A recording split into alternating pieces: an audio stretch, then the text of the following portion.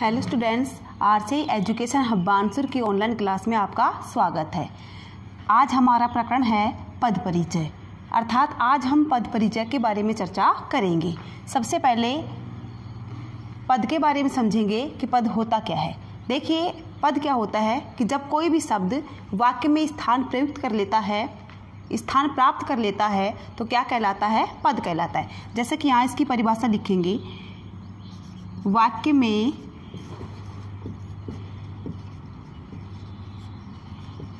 प्रयुक्त शब्द ही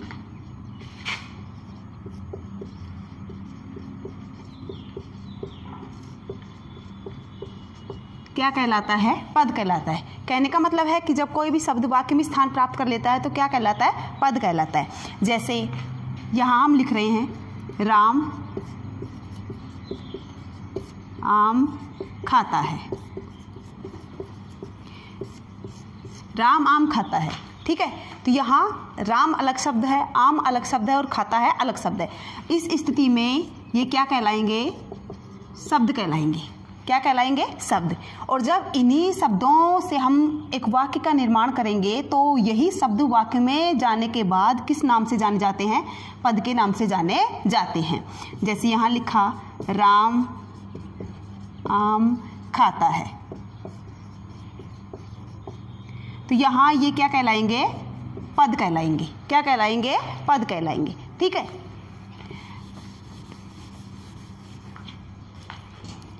अब ये पद परिचय क्या होता है? व्याकरण की दृष्टि से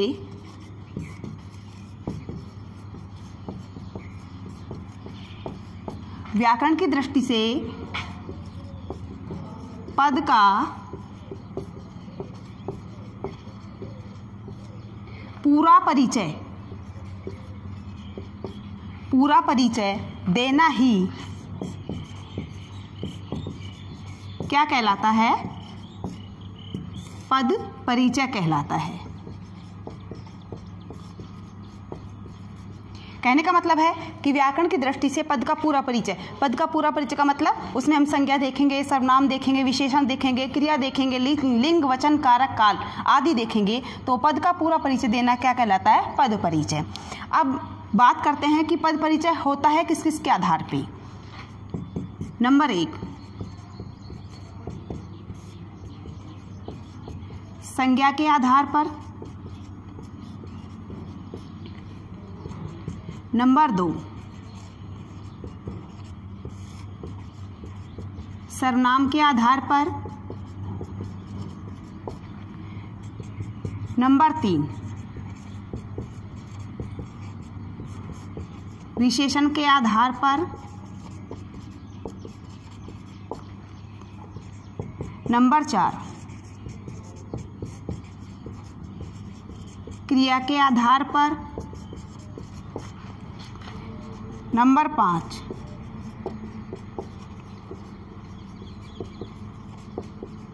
लिंग के आधार पर वचन के आधार पर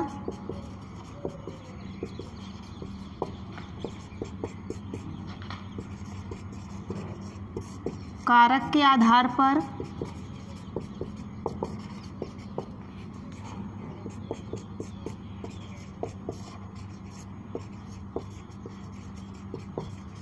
और काल के आधार पर। अब ध्यान देने की बात यह है कि स... पद परिचय करते समय हमें किन किन बातों का ध्यान रखना चाहिए। पहली, संज्ञा का ध्यान रखना चाहिए कि जिसका भी वो पद परिचय करवा रहा है, जिस भी पद का रेखांकित पद होगा वो, उसमें संज्ञा है तो कौन सी है सर्वनाम है तो कौन सा है, विशेषण है तो कौन सा है, क्रिया है तो कौन सी है, लिंग है तो कौन सी लिंग है, वचन है तो कौन सा है, कारक है तो कौन सा कारक है और काल है तो कौन सा काल है। जैसे, यहाँ हम पहले उदाहरण से समझेंगे।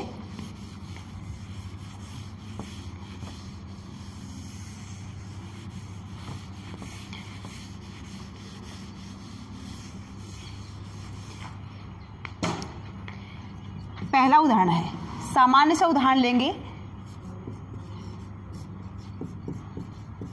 राम जाता है।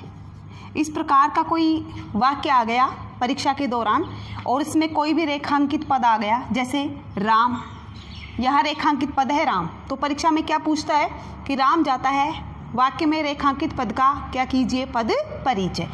तो सबसे पहले पद परिचय करते समय उसी पद को हम लिखेंगे और अब इसमें देखेंगे कि राम जो शब्द है, ये व्याकरण की दृष्टि से कैसा शब्द है? तो राम किसी व्यक्ति का नाम है तो नाम वाले शब्दों को किस नाम से जानते हैं हम? संज्ञा के नाम से जानते हैं। किस नाम से जानते हैं? संज्ञा के नाम से। और संज्ञा के भेद कितने होते हैं? तीन। कितने होते हैं? तीन। पहला है व्यक्तिवाचक।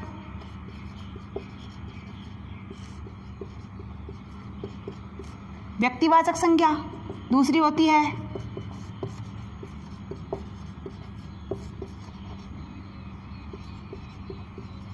जातिवाचक संज्ञा। और तीसरी होती है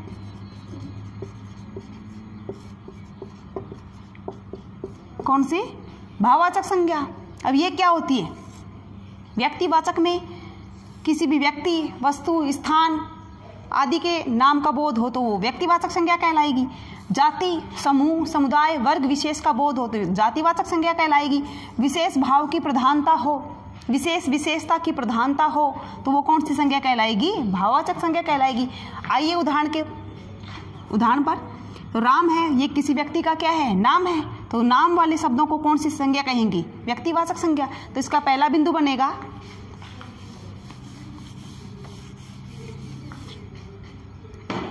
इसका पहला बिंदु बनेगा।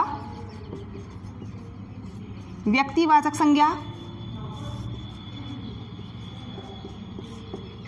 अब हम लिंग और वचन देखेंगे, फिर कारक देखेंगे। राम है, ये पुल्लिंग है, क्योंकि ये किसी पुरुष का नाम है। तो दूसरा बिंदु बनेगा। पुल्लिंग तीसरा बिंदु आता है वचन का। वचन हिंदी में दो, एक तो एक वचन, और दूसरा बहुवचन। किसी भी एक संख्या का बोध कराने वाला वचन कौन सा कहलाता है? एक वचन कहलाता है, और एक से अधिक संख्या का बोध कराता है, वो कौन सा वचन कहलाता है? बहुवचन कहलाता है। तो राम यहाँ अकेला है, ठीक है? तो कौन सा वचन हो जाएगा? एक वचन।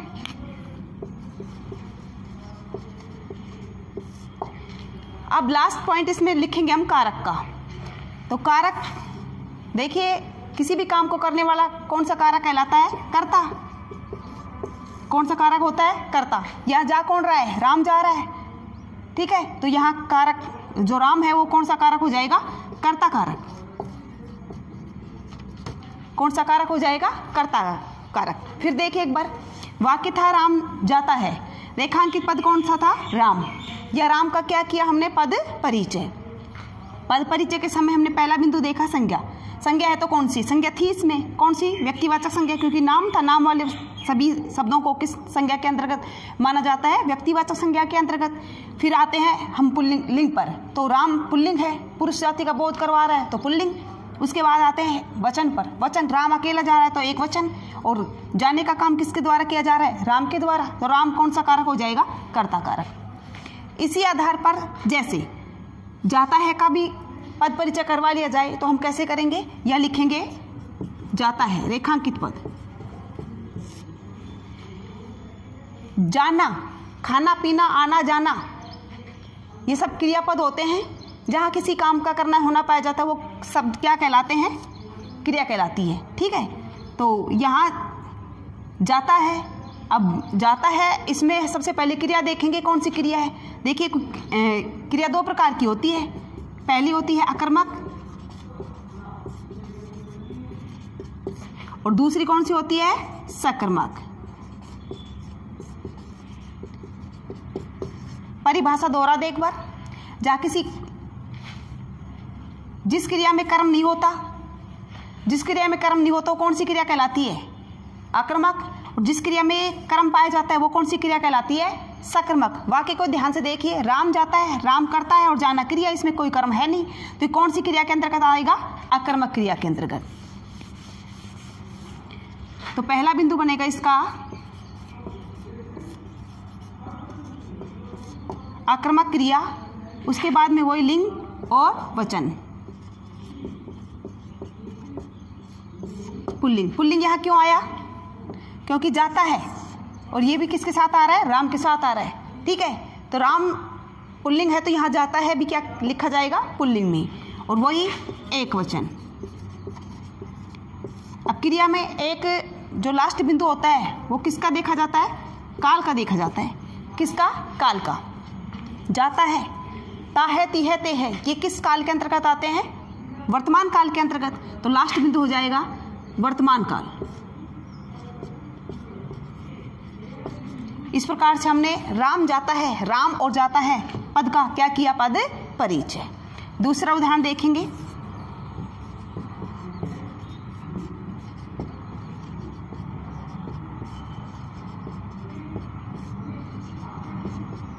मोहन खाना खाता था, ठीक है? तो यहाँ हम पद परिचय करेंगे। जैसे मोहन का कर लिया और खाता था का कर लिया। मोहन, यहाँ लिखा हमने मोहन। मोहन मोहन का पद परिचय किया हमने। तो मोहन कैसा शब्द है? संज्ञा शब्द है? संज्ञा में कौन सा? वही व्यक्तिवाचक संज्ञा, क्योंकि मोहन किसी व्यक्ति का क्या है? नाम है, नाम वाले शब्दों को कौन सी संज्ञा मानी जाती है? व्यक्तिवाचक संज्ञा।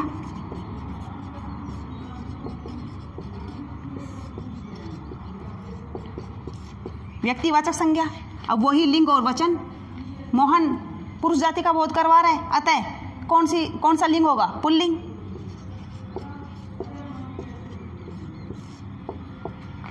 वचन? मोहन अकेला खाना खा रहा है तो एक संख्या का बोध कराने वाले कौन से वचन में आते हैं? एक वचन में अब देखो, इसमें कारक देखेंगे। मोहन खाना खाता था। खाना खाने का काम किसके द्वारा किया गया था? मोहन के द्वारा। तो किसी भी काम को करने वाला जो कारक होता है, वो कौन सा कारक होता है? कर्ता कारक।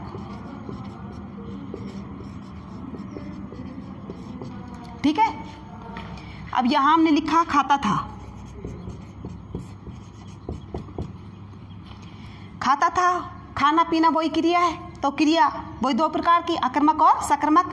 अब ये भी आपको बताया था कि जहाँ कर्म नहीं होता, वो अकर्मक क्रिया होती है। जैसा कि पहले उदाहरण में लिखा गया था, और जहाँ कर्म होता है, वो कौन सी क्रिया होती है? सकर्म अब ये कैसे पहचानेंगे हम किसमें अकर्मक क्रिया या सकर्मक क्रिया ध्यान दें, मोहन खाना खाता था।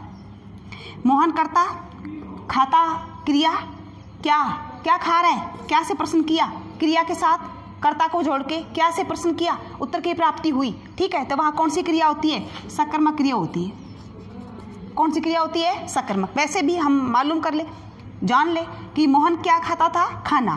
तो खाना क्या है इसमें? कर्म है। अतः कर्म है तो कौन सी क्रिया हो जाएगी इसमें? सकर्मक क्रिया। सकर्मक दिया ठीक है, अब वही लिंग और वचन। लिंग कौन खाता था? मोहन खाता था। मोहन क्या है यहाँ पर? पुल्लिंग। तो यहाँ भी क्या लिखेंगे? पुल्लिंग। अब वही वचन। एक वचन। अब काल देखो। खाता था। जिन वाक्यों के अंत में था, थे, थी आए, वो कौन सा काल होता है? भूतकाल। इस प्रकार से हमने क्या किया? इनका पद परिचय। तीसरा उदाहरण और देखिए।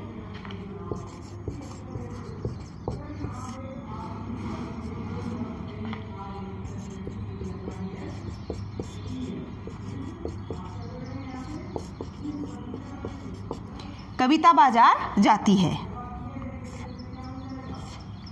कविता बाज़ार जाती है। इसमें हमने पद परिचय किया, कविता का और जाति का। जैसे कविता किसी लड़की का नाम है और नाम वाले शब्दों को बार बार आपको बताया जा रहा है कि क्या कहेंगे व्यक्तिवाचक? संज्ञा।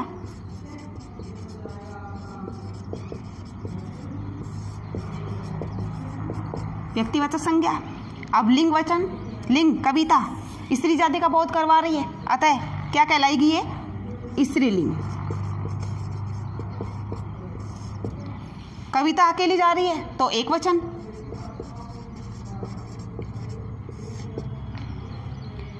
कौन जा रही है? कविता? पद परिचय किसका चल रहा है? कविता का।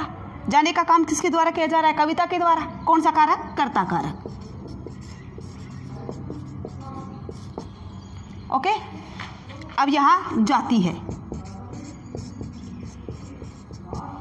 ध्यान से देखिए, जाती है। जाना क्या होती है? क्रियापद है ठीक है? अब यहाँ बाज़ार शब्द दिया गया है। बाज़ार कर्म नहीं है। किसी भी स्थान का बोध कराने वाले जो शब्द होते हैं, वो कर्म नहीं कहलाते। तो यहाँ कर्म नहीं है, इसका मतलब जिस वाक्य में, जिस क्रिया में कर्म नहीं होता, जिस क्रिया में कर्म नहीं होता, वो कौन सी क्रिया कहलाती है? अकर्मक क्रिया। तो ये कौन सी क्रिया हो जाएगी? अकर्मक।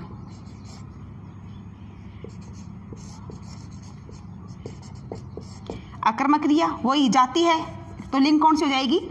स्त्रीलिंग एक वचन और काल ताहती है तेह आ रहा है वाक्य के अंत में। कौन सा काल हो जाएगा? वर्तमान काल। ठीक है? थैंक यू क्लास और बाकी जो शेष बचा हुआ है, वो आपको नेक्स्ट क्लास में समझाएँगे।